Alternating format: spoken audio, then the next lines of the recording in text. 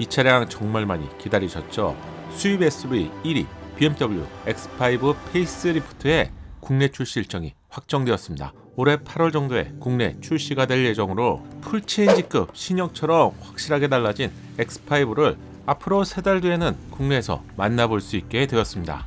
새로운 디자인, 환골탈태한 실내, 그리고 새로운 파워트레인까지 업데이트된 공식 소식을 알려드릴게요.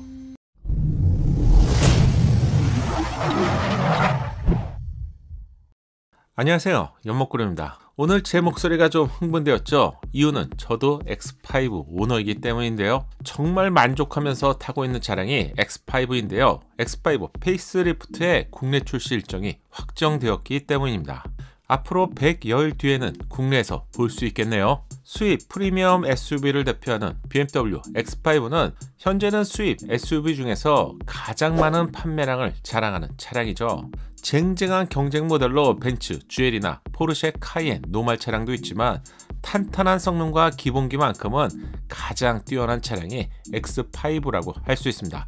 이런 이유 때문에 SUV의 교과서라는 별명과 함께 남자는 X5죠. 이렇게 말을 하시죠. 먼저 환골탈태한 궁금한 실내 디자인부터 좀 더 자세히 볼게요. 이렇게 달라집니다.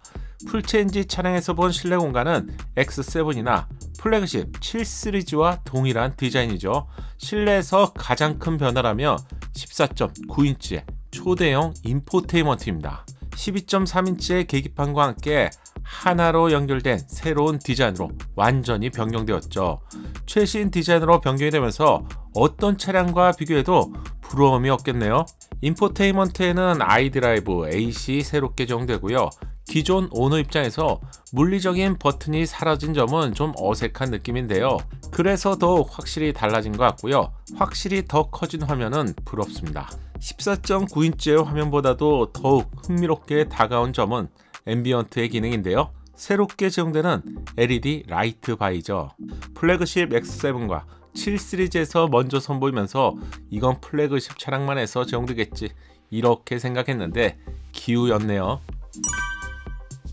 존재감이 느껴지는 LED바는 볼 때마다 멋질 것 같고요. 그런데 개인적으로 좀 좋아진 점이 있다면 일부러 이 표현이 맞을지 모르겠는데요. 나빠진 점도 있는 것 같습니다. 정말 아름다운 디자인이었던 크리스탈 기아노브가 사라졌는데요. X5 오너 입장에서 X5를 구입하는데 큰 역할을 했던 디자인이 바로 크리스탈 기아노브인데요. 실내에서는 이 반짝반짝 거리는 크리스탈 느낌의 버튼들을 자주 볼 수 있죠. 차량을 탈 때마다 만족스러운 부분인데요. 그런데 이걸 뺐네요. 처음에는 새로운 디자인을 보면서 전동화 시대로 전환하기 위해서 빠진 것인가 이렇게 생각했는데 어쩌면 이것도 기우일 것 같습니다. 이번에 X5 facelift가 공개된 이후에 고성능 X5M 차량이 공개되었는데요. 설마 설마 했는데 고성능 X5M 실내에는 기어 knob가 기존과 그대로 유지되고 있습니다. 고성능에 그대로 놔뒀다 훨씬 비싼 몸값을 자랑하는 고성능 M 모델에는 기어 knob를 그대로 남겨두었습니다. 이렇게 된다면 일반 normal과 차이를 둔 것이죠. 기어 knob가 사라진 공간에는 작은 toggle 방식으로 변경되었는데 변경되면서 수납 공간들이 늘어났다면 충분히 이해할 수 있겠지만 단지 기아 노브만 사라진 것이라서 기어 콘솔 쪽 공간은 좀 아쉽게 느껴집니다. 그래도 14.9인치의 인포테인먼트를 얻었으니 위로 삼아야겠죠. 12.3인치의 계기판 디자인도 새롭게 변경이 되었고요. 확실히 미래지향적인 디자인으로 변경되었습니다. 알려진 정보에 의하면 티맥 같은 기능들이 계기판에서 바로 볼 수 있게 업데이트가 된다고 하네요. 이렇게 말이죠. 계기판의 지도를 볼 수 있다면 infotainment에는 좀 더 다양한 방식으로 사용할 수 있을 것 같은데 최신 Android Auto와 Apple CarPlay가 업데이트되면서 화면 영역을 더욱 잘 활용할 수 있도록 개선되었죠. 그래서 14.9인치의 infotainment는 더욱 큰 역할을 하게 될 것 같습니다. 변화는 여기서 그치지 않는데요. 주행 시 큰 역할을 하는 것이 바로 HUD, head-up display의 디자인도 달라졌습니다. 이렇게 달라졌는데요. 기존 HUD도 사용하기에는 편리했는데 더욱 세련된 디자인으로 변경되면서 부러움을 사게 될 것 같네요. 새롭게 디자인된 송풍구를 볼 수 있고요. 시트의 디자인은 기존 BMW 차량보다는 우아함을 자랑하는 벤츠의 시트처럼 디자인과 패턴이 고급스럽게 변경되었습니다. 좀 더 확실한 승기를 굳히려고 이렇게 변경된 것일까요? 아참 많은 분들이 좀 잘못 알고 계신 점이 있는데 X5의 2열 시트는 등받이 각도가 조절되는 reclining 기능을 기존에도 차량에 따라서 제공했죠. 단 쿠페 차량만 제외하고요. 앞으로 출시될 facelift에서도 당연히 제공됩니다.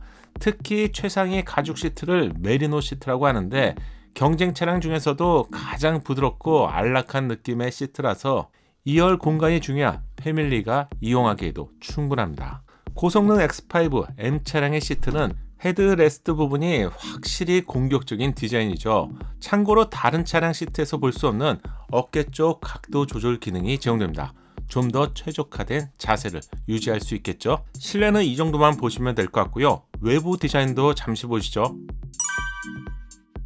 외부 디자인도 많이 달라졌습니다. BMW의 signature 디자인인 멧돼지 콧구멍 같은 디자인은 기존과 동일하게 유지가 되고요. 달라진 외부 디자인의 핵심은 점등되는 콧구멍입니다. 역동적인 쿠페 디자인을 자랑하는 X6의 그릴에서 lighting 기능이 먼저 제공되었죠. 이 기능은 BMW 오너라고 해도 부러움의 대상이었는데 Iconic Glow 기능이 X5 facelift에도 새롭게 제공됩니다. 빛이 사라진 밤에 Iconic Glow 기능이 제공되는 X6를 보면 성난 멧돼지가 빠르게 달려오는 것 같은 압도적인 존재감을 느낄 수 있었는데 이제는 X5 facelift에서도 이 기능이 제공됩니다. 주간에는 역동적인 디자인을 자랑한다면 야간에는 존재감 있는 모습을 연출하게 될 것 같네요. 전면부 핵심 디자인은 눈에 해당되는 헤드램프의 디자인이죠. 꺾인 화살표 디자인으로 변경되면서 내부의 형상은 보석처럼 반짝이는 패턴이 새롭게 적용되었습니다. 좀 더 미래지향적인 디자인이라고 해야 될까요? 조금 아쉬운 점도 있는데 블루 색상의 레이저 라이트 기능이 사라졌습니다. 야간에 600m의 시야를 확보하는 독보적인 기능인데 이 기능이 사라졌네요. 제 경우 캠핑을 자주 다니기 때문에 한적한 도로에서 진가를 정말 경험하고 있는데 이건 좀 아쉽네요. 범퍼의 디자인도 달라졌고요. 상위 차량인 X7처럼 좀 더 웅장한 디자인으로 변경되었습니다. 특히 수직으로 떨어지는 air intake의 디자인은 M 차량 같은 느낌을 주기 때문에 많은 분들이 좋아하실 것 같네요. 측면부에는 새로운 휠 디자인과 함께 펜더 측면의 크롬 garnish의 디자인도 좀 더 공격적으로 변경되었습니다. 후면부는 얼핏 보면 달라진 점이 없는 것 같은데 tail lamp의 디자인이 달라졌죠. 그런데 이 디자인은 국내에 이 차량이 떠오르는데요. 바로 렉스턴입니다. 뭐 BMW가 따라한 것은 아니겠죠. 마지막으로 powertrain입니다. X5 오너로서 가장 만족스러운 부분은 바로 ZF 8단 변속기와 6기통 엔진의 조합인데요. 이 ZF 변속기는 다양한 프리미엄 차량에서 볼 수 있죠. 뭐 레인지 로버에서도 볼 수 있고요. 카이엔 같은 차량에서도 볼 수 있는데 가장 매끄러운 변속 조합이라면 당연히 BMW 차량이 되겠죠. 가격도 이미 공개되었는데 기존 모델과 비교해보면 기본 모델 40i가 68,495달러로 기존에는 62,595달러였죠. 약 5,900달러가 인상되었습니다. 이 정도 가격 차이라면 국내 출시가 될 때 한 천만 원 정도의 인상을 예상해 볼 수 있겠네요. powertrain은 대폭 개선되었는데 가솔린 엔진도 mild hybrid가 드디어 기본으로 제공됩니다.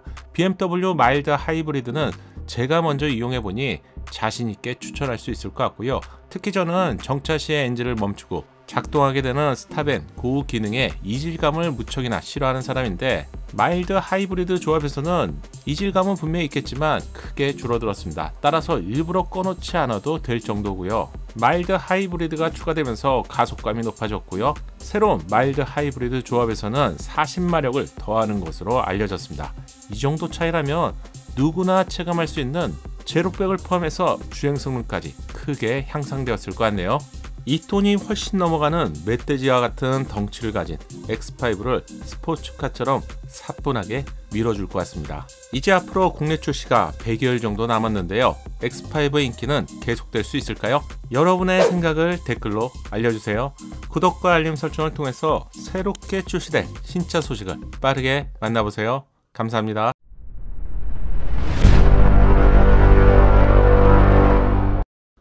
작은 도움이 되셨다면 좋아요 부탁드리고요.